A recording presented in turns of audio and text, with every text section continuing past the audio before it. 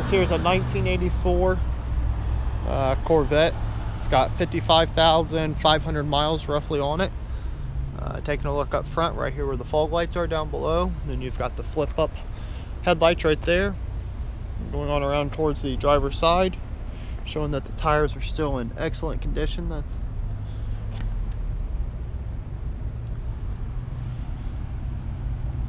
and taking a look here on the inside.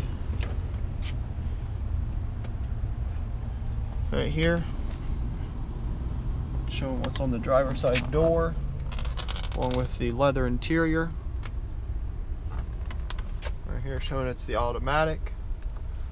Right here showing it's actually got 55,572 miles on it.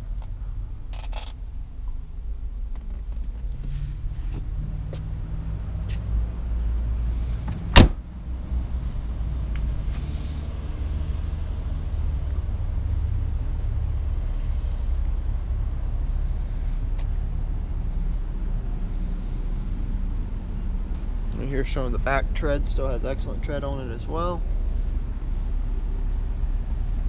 And once again, this is a 1984 Corvette.